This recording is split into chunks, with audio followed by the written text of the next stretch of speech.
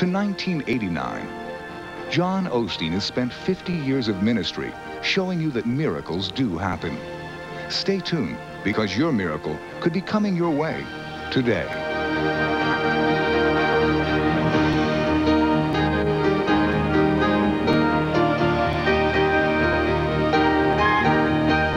This is John Osteen.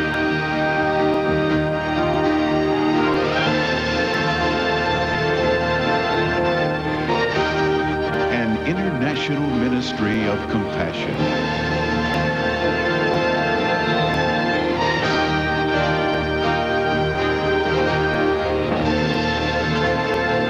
Reaching the unreached and telling the untold. proclaiming the good news of Jesus Christ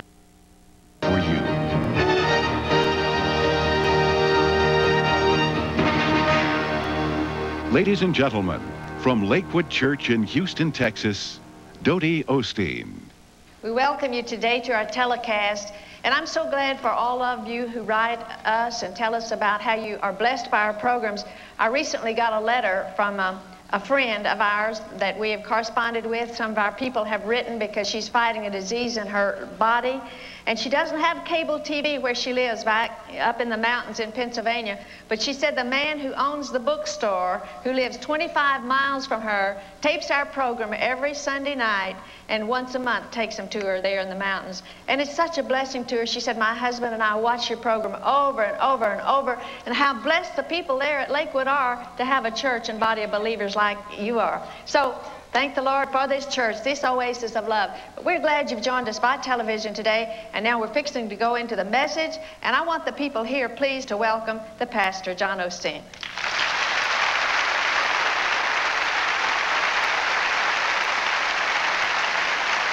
Thank you very much. Well, the Lord is worthy to be praised. You may, you may uh, stand to your feet, if you will, and take your Bible. And you folks on television, we do welcome you. And this is what we do at every service. And if you haven't seen us do it, you need to get used to doing it yourself. Hold up your Bible and make the devil mad and Jesus glad. Wave them around a little bit.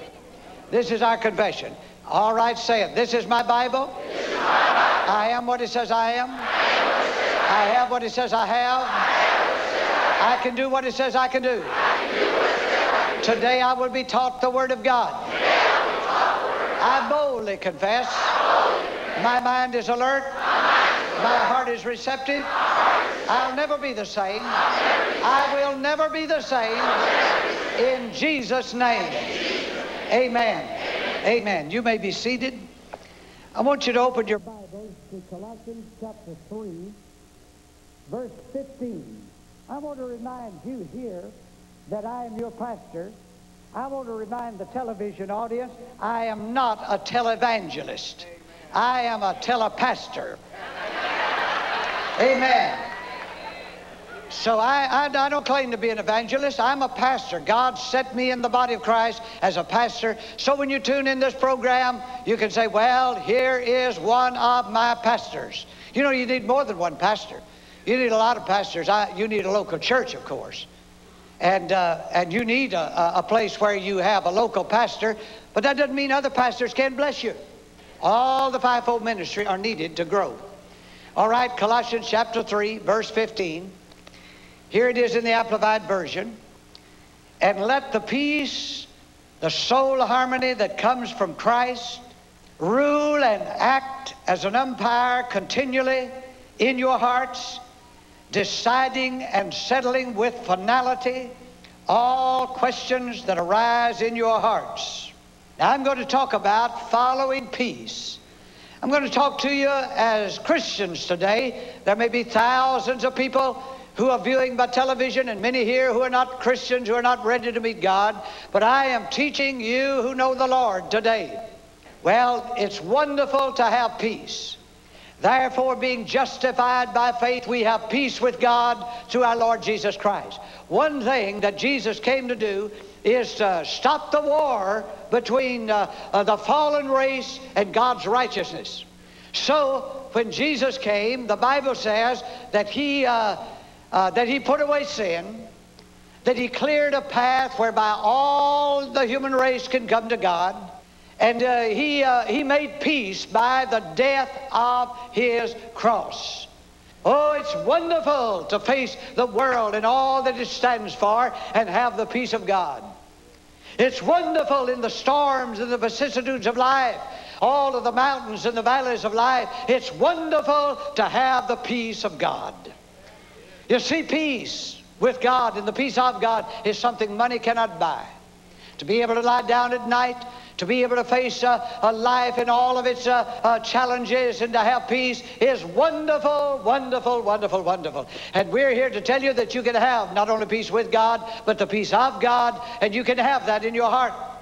Now, this peace that comes in us is to be activated constantly, either in a negative way or in a positive way. This peace of God is God's presence in our lives. You know, in the Old Testament, when the children of Israel came out of Egypt, which is a type of our salvation, and when they were headed for the promised land, which is the type of heaven for us, in one sense of the word it is, uh, uh that, that is a picture of our salvation. Now, when they came out, what did they have to guide them with? They did not know how to get through the wilderness. They did not uh, know how to order their lives day by day, so God gave them a pillar of fire by night and a cloud by day. And so God said, when the pillar moves to the left, you, uh, you go out that way. When the, when the cloud moves to the left, you go out that way. When it stops, you stop. When it moves, you move. When it advances in this direction, you just follow the pillar of fire by night and the cloud by day. So their lives were very, very uncomplicated. It would, God made it real simple for these people. He said, all you have to do you know, if you were to come to one of them and say, Aren't you worried about God, following God out here in this wilderness? Do you know where to go? Do you know where to stop? Do you know where to camp? Do you know where uh, to turn right and to turn left? Why, they say no. No, it's not complicated. God Almighty has made it real, real simple. Well, tell me about it. What do you have to do? All I have to do is get up and go out to the front of my tent and look around, see where the cloud is. And when it begins to move, I begin to move. And when it begins to turn left, I turn left. When it turns right, I turn right. When it stops, I, I stop. I don't have any problems. I've got solutions. I've got the pillar of fire by night and the cloud by day. So in the middle of the night, if somebody blows a trumpet and shouts around through the camp, the pillar of fire's moving, rise up, rise up. Well, all I had to do is just get up and get ready to go. My, my, my, it's wonderful to have God treat me so. I know where to go and how to go. I know when to turn left and when to turn right. I know when to stop. I know when to advance. See, all I have to do is watch the pillar of fire by night and the cloud by day. Made it real simple. Listen to this scripture. The Bible says, and when the day of Pentecost was fully come, they were all in one place with one accord, and suddenly there came a sound from heaven. And there appeared unto them cloven tongues like as a fire. Everybody say fire three times. Fire, fire, fire. Say, my God is a consuming fire. Those tongues of fire appeared upon them, and they were all filled. Filled with what? Filled with that fire filled with the Holy Ghost and began to speak in other tongues. What was it? God, who was in that pillar of fire, moved on the inside of his people. So the pillar of fire is on the inside of the Christian today. It's wonderful to have God for us. It's wonderful to have God with us, but it's more wonderful to have God in us. Can I have a better amen? So God is in us, that peace, that, that wonderful, tranquil state that we call the peace of God is on the inside of us. Now the Bible says here, let the peace of God rule and act as an umpire. Do you know we need to keep our bodies going in the way our spirits go? David said, You have made my feet like hinds' feet, so that I go up on the high places. Now, what does he mean, like hinds' feet? Did you know a hind or, or, or other animals that, uh, you know, like deer and other, things, you know, they, they do what they call tracking. They tra you can't climb on a high mountain unless you know how to track. What does track mean? It means that that back foot lands exactly where the front foot lands. So if the front foot is, is stable, they don't have to worry about the back foot. They just step in there. They track it. And they're able to go in the high places. How many of you want to climb high places for God? Say amen. amen. Well, the Bible says that we are spirit and we are body. You see, sometimes our body goes in one direction and our spirit is saying, no, go this direction. In order to do something for God, you got to get to tracking. You got to get your physical feet where your spiritual feet are. And then we can climb on our high places. But many times we are pulled in one direction, our bodies go in this direction, our minds go in this direction, and our spirits go in this direction. Now that's what this is talking about. Let the peace of God rule and act as an umpire in your heart. Now, what does an umpire do? An umpire basically does this. An umpire either calls you safe or unsafe, which means out. Everybody say safe, safe. Unsafe. See, an umpire is out there to tell the players whether they are in the safe area or in the unsafe or the out area. So the Bible says, let the peace of God, this presence of God in you that gives you such joy, such a tranquil state, such a priceless uh, uh, uh, joy in your heart, let that be the umpire. Let that, uh, let that tranquil state of peace either by its presence or absence, either tell you that you're in a safe area or you're in an unsafe area. Now, the Bible says, let the, let the peace of God act as an umpire, rule continually like an umpire, either calling you out or calling you safe, and settling with finality. I like that statement. Settling with finality. I mean, there's no more words after this is over. It settles it in the final state. No questions, no arguments. When that peace calls you safe, that settles it forever. If that peace calls you in an unsafe area, that settles it. You're wrong.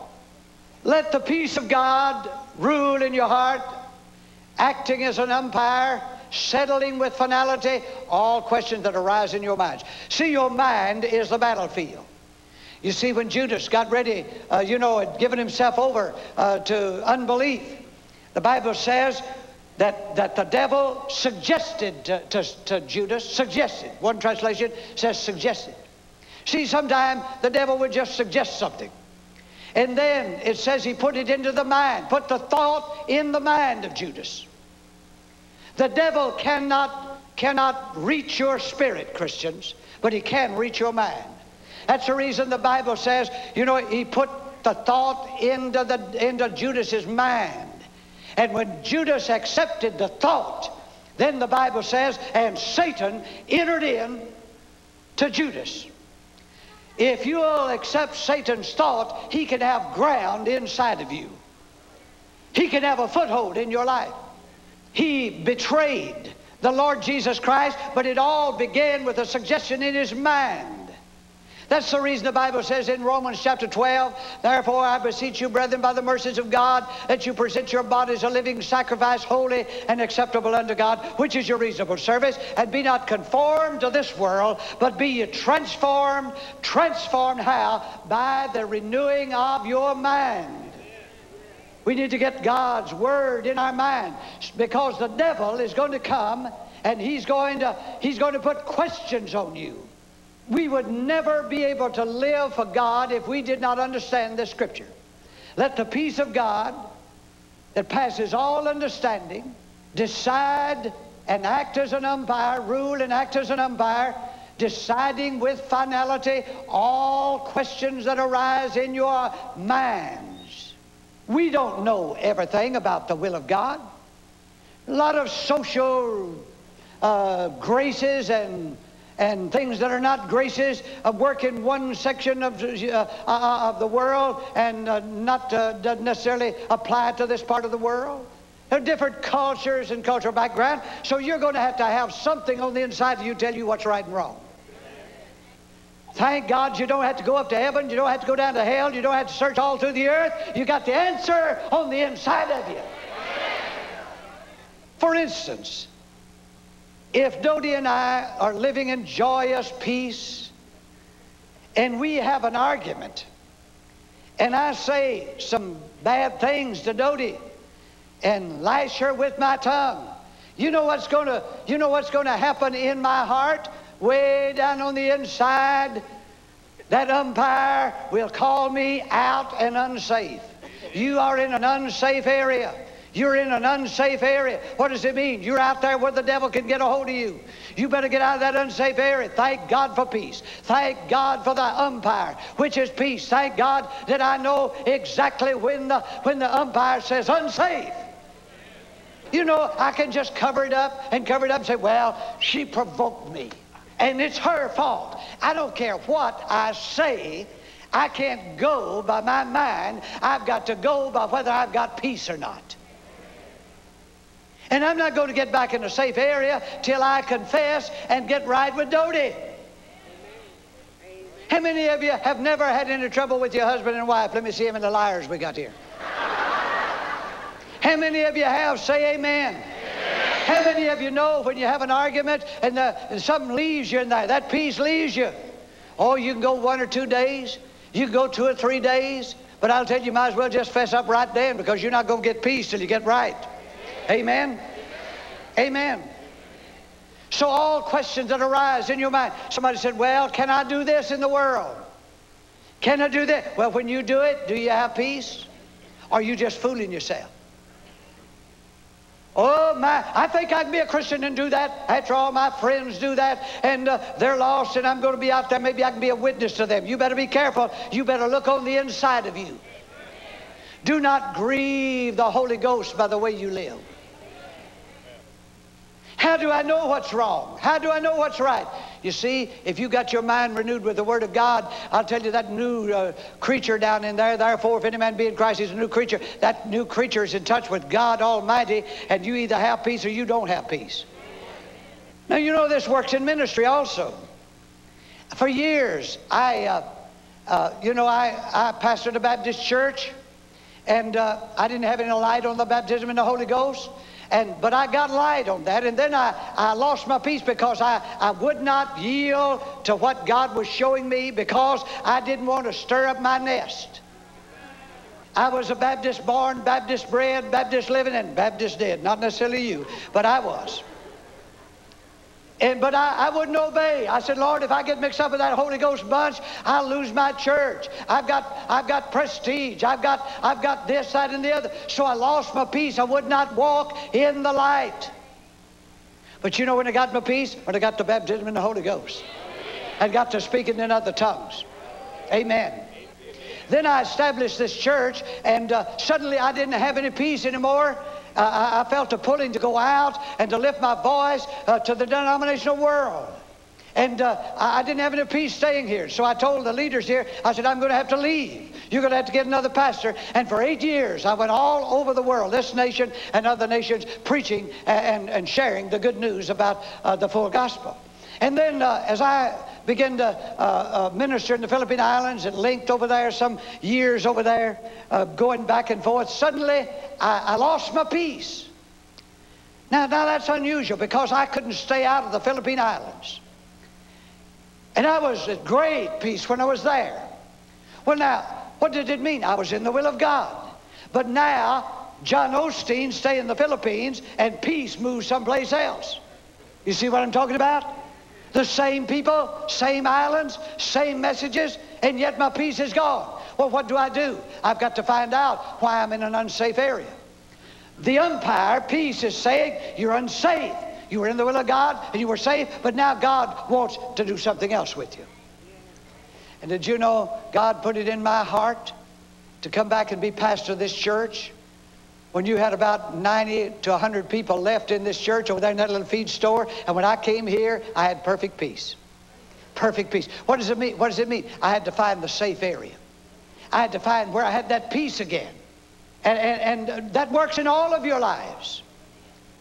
How many of you know what it means to be restless in your spirit? Say amen. amen. How many of you know what it means to, to not have the peace that you used to have? Say yes. yes. You, you know it's in there.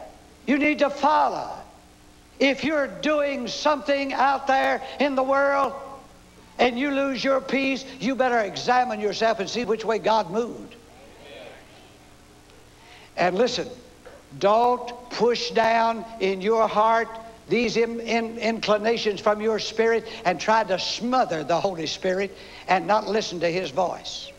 Many times, little things that we do uh, grieve the Holy Ghost.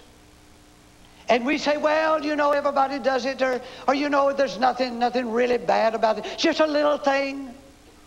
Like not working like you ought to for the people that employ you. Like taking things from your office that don't belong to your little sticky fingers. Like buying things your little old beady eyes look at and you know you can't afford.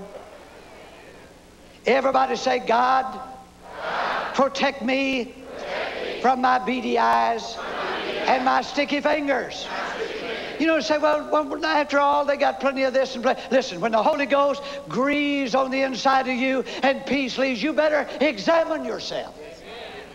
You know, if you look in your heart, you're not going to be a cocktail sipping, beer drinking, a profligate that chases after women and, uh, and, and, men. You're not going to live in that area. You're going to find out the Holy Ghost is grieved, and you're going to have to get in the safe area and get rid of all that sin. Amen. Amen. No child of God can commit adultery without grieving the Holy Ghost. No child of God can be a fornicator without driving peace out of your heart. No, you're not going to eat out of the garbage cans of the world and have peace. You may fool me. You may fool Dodie. You may fool your family, but you won't fool God. Because the Lord's on the inside of you. You got to go to bed every night with the Lord. You got to wake up with the Lord. And that, that, that peace that leaves you is a sign God went one direction and you went the other. You know, the most wonderful thing in the world is to have that peace. Everybody say this nothing is forever. Nothing is forever. Say it again. And you see, when you don't have peace, be glad. Be glad because the Lord is getting you out of an unsafe area. What a joy it would be to all of us today to make the decisions that would immediately bring us peace. If you're not at peace with some individual, and you bring your gift to the altar, and there remember that your, your friend has something, uh, brother has aught against you, or your sister has aught against you, leave your gift, the Bible says, and go be reconciled to your brother or sister, and then come offer your gift. That was kind of a quiet amen. Let, let peace rule and act as an umpire. Safe, unsafe, continually, not just one time, but let it act, the peace act as an umpire continually, continually until you go to heaven. You know, it's wonderful to talk about this. Many of you may not know where you have missed it. But you know you have because you don't have peace. You need to get right with people. You need to get right with God. You need to get things out of your life. You need to surrender to His Lordship and let that peace continually guide you in now and in the days to come. Because if you've got peace in your heart, you are rich beyond words to explain. And our desire is to help you know how you can continually be guided and blessed by God by the peace of God that's in your hearts. Let's lift our hands and praise God for it.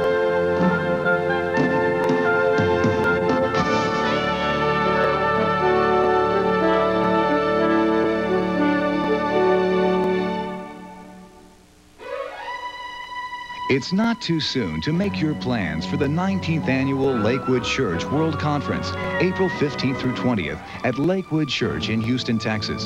Join some of America's most outstanding speakers like John Osteen, Kenneth Hagin, T.L. Osborn, R.W. Schambach, and over 3,000 United States pastors and 2,000 international delegates from around the world as they celebrate the power of the Holy Spirit and teach you how to receive God's best for your life. That's the 19th Annual Lakewood Church World Conference, April 15th through 20th. And don't miss the opening night as John Osteen celebrates 50 years of ministry. Come be a part of this historic anniversary and enjoy a very special presentation. For more information, just write Lakewood Church, Box 23117, Houston, Texas 77228, and we'll reserve your place at the 19th Annual Lakewood Church World Conference. Lakewood Church, an oasis of love in a troubled world. Come expecting to receive a miracle from God for your life. I'm so glad that you let us come into your home to teach you the Word of God every week. As I said earlier in the program, I'm not a televangelist, I'm just a pastor. I thank God I'm the pastor of this great Lakewood church. We call it an oasis of love in a troubled world. We don't ask you for anything, we pay our own way. We come not to get, but to give. We want to give you the good news about the Word of God and how you can have happiness and peace and victory in the Lord Jesus Christ. You know, as we begin a new year, I believe one of the greatest things I could ever give you and encourage you to cooperate with, and that is messages from the Word of God. God has put on my heart to teach you just exactly like I teach the local Lakewood church right here. And I'm going to do that as I start a series of messages next Sunday, and then we'll continue the next and the next and the next and the next. For several Sundays, I'm going to be teaching on the book of Ephesians. I'm convinced if you will stay with me and get the redemptive truth that's in the, in the Lord Jesus Christ, as revealed in the book of Ephesians, I'm telling you, it will change your life. So stay tuned next week and the next and the next, and you'll be changed by the Word of God. Thank you again for letting us come into your home. We believe this coming year will be your best. Join Pastor John Osteen at the new Oasis of Love, Sundays at 10 a.m. and 7 p.m. and Wednesday nights at 7.30 p.m. Lakewood Church, the Oasis of Love, is located off the 610 North Loop at 7400 East Houston Road in Northeast Houston. Each week, thousands of people from all denominations and all walks of life come together for an exciting time of fellowship and inspiration. You'll be blessed and uplifted by the compassionate ministry of Dodie Osteen and the dynamic, down-to-earth Bible teaching of Pastor John Osteen, each week at the new Oasis of Love. I come to Lakewood because there's it's home.